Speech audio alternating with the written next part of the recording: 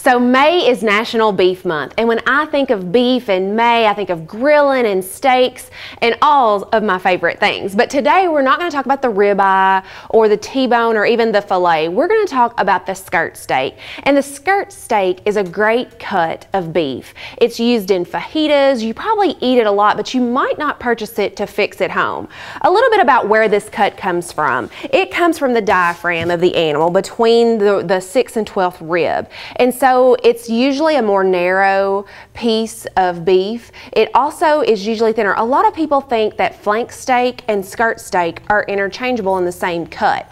Although we can utilize it in a lot of similar recipes, they're actually not the same cut. The flank actually comes from this part of the animal, where this skirt steak actually comes more from the rib plate area. Now, the skirt steak is not known for its tenderness. However, it is known for its flavor because you can take a look at this cut of meat. We see all that detailed marbling throughout this cut of beef. And so that's going to give us a lot of beefy flavor, a lot of marbling, but this cut really needs to be marinated and usually overnight at least six hours for it to infuse all the flavors into the meat and to tenderize it a little bit.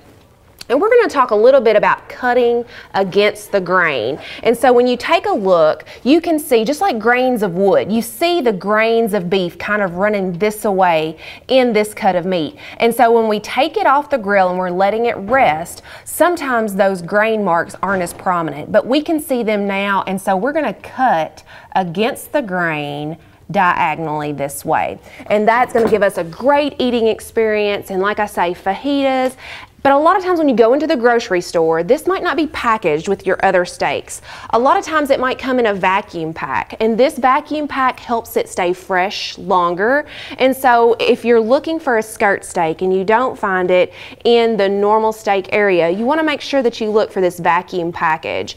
And that skirt steak will usually be folded in there, and then you can purchase it. So let's talk about the marinade, okay? We're going to make a really easy marinade today, probably things that you might have at home.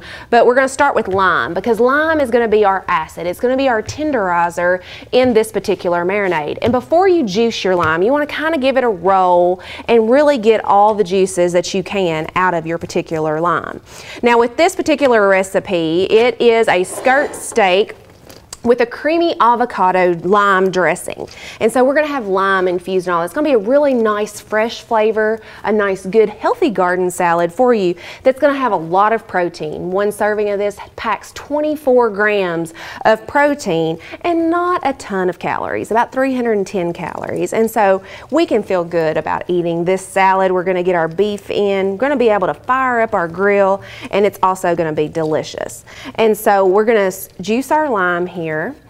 And then we have a tablespoon of minced garlic. Garlic is an umami flavor with beef. It's one of those flavors that pairs beautifully with it. And so anytime we can add garlic to a marinade, it's just gonna really help enhance the flavor of the beef. And then we also have a tablespoon of chili powder. And that's gonna give it a little bit of heat, a little bit of spice, but it's gonna be really nice. Now we usually put salt on the meat, but we're not going to because that sometimes brings out the juices. And so we're gonna wait until we have the steak grilled and then that's when we're gonna add our salt.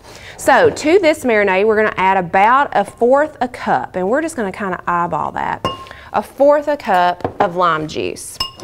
And then we're just gonna stir this up and it people say that's not a lot of marinade, and it's not. And really, we don't need a whole lot. Lime juice is acidic, and we have about a pound, it's about a pound and a third of beef here. This is gonna be plenty. We're gonna coat that meat, we're gonna put it in a plastic bag, and we're gonna marinate it for at least six hours, but I usually try to marinate it overnight. Just go ahead and stick it in your refrigerator and forget about it until the next day when we come out and we see that it's all coated. This is going to be tender when we get it on the on the grill. And right now we're using an indoor grill because we didn't think it was a good idea to fire up the grill in the extension office. You can use an indoor grill. But what we would suggest is not to close the grill because this will provide heat on two sides and that's not what we want. We want this to be like a flame outside. So we're gonna place our steak on the grill. And we have it about medium heat, and so you heard the sizzle one of my favorite sounds is the sizzle of beef going on there. We're gonna leave that on and let it grill just on one side. And while we're doing that, I'm gonna come over here and we're gonna go ahead and start making our dressing that's gonna go on top of this. Because we don't wanna really play with the steak. We wanna let it sear and then we're gonna flip it once we're gonna take its temperature and 145 is where we wanna be with this steak. That's medium rare. We don't wanna overcook a skirt steak. It will not be a pleasant eating experience. And so here we have the lime juice that we have and the avocado. The avocado is actually a berry. A lot of times we think of it as a vegetable, but it's actually a berry. And we're gonna take this avocado and put it into our blender. And it's gonna give it, this is gonna add the nice creamy flavor and it's gonna be, it's gonna add some nutrition to our dressing as well. And so we're just gonna add that in there take the pit out, one of the things that classifies it as a berry. And so, and I'm kind of chunking up the avocado just a little bit so it'll blend a little bit easier when we get it started in here. And then we're gonna add some more garlic because like I say, that's a perfect pairing flavor with our beef. And we're gonna add about enough for one clove, which is half a, teaspoon of the minced garlic. I also have 3 fourths cup of water that we're gonna add to the dressing. We're gonna add our lime juice. And if you get a little pulp in there, that's completely fine because it's just gonna blend into this beautifully. And then we're gonna add a little salt because we do wanna add a little salt. That flavor is gonna bring out the beef flavor and all those things are gonna meld together. We're gonna put our top on and blend that up a little bit until it's smooth and then we'll be ready to place it on the salad. Now for the salad, we have just mixed greens, some red onion, about a half a cup. We have some tomatoes on there, the different colored tomatoes to kind of give it that nice punch, the freshness of summer, as well as green olives that are, are stuffed with the pimentos. That also adds a nice flavor. It's a real bold flavor that adds to this salad and cheese. Now the recipe didn't call for cheese, but I love cheese and blue cheese in a beef pairing is great. So I'm gonna blend up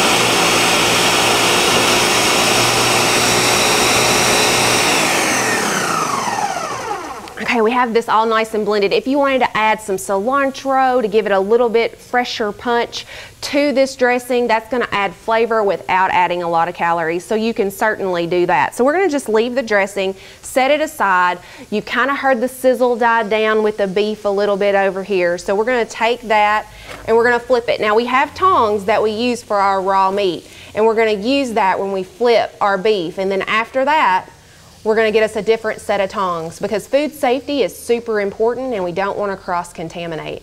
So we're just going to leave that on the grill we're going to take it, take its temperature, 145, and then we're going to place it and let it rest. Anytime you cook a protein, you need to let it rest after you get it off its heat source. And the reason is, is it has a chance to distribute all its juices back into the entire cut of protein. And then that's going to give you that nice juicy flavor with every bite, even on the ends. And so you want to make sure to do that. Remember to slice it diagonally against the grain. And then once you have that done, place it on top of your salad and pour your dressing on top and you're gonna have a great eating experience. Let's take a look and see what temperature it is now. Because this little piece, this little cut of meat here, it probably doesn't need a whole lot more to it.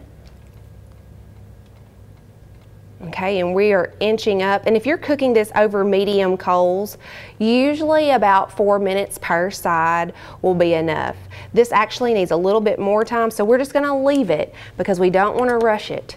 We don't want to rush our meat. So we're going to leave it there, let it grill, and let it reach 145. And so you put this all together, you have a great eating experience. This recipe is beef. It's beefitswhatsfordinner.com. You can go on there, look. They have an interactive meat case where you can go and explore all the different cuts of beef and pick the perfect recipe for your family. So make sure to celebrate this month. May is National Beef Month and eat beef. Okay, so our meat has reached 145. We have let it rest for about 10 minutes, so now it's time to slice. You wanna make sure you have a sharp knife and you can see the grain of the meat is going this way. So we wanna cut against the grain and at a diagonal. And so we just take it and slice it in thin pieces so that they're perfect for our steak. But you see that, that we still have a pink middle, nice juicy flavor and I had to taste a little piece myself. And so the lime tastes great. It's got a lot of flavor with that garlic. And so we're just gonna cut a few slices and we already have some of our salad plated up over here. And so you just place the beef on top of the salad, however much you like, but usually a serving of beef is about three ounces.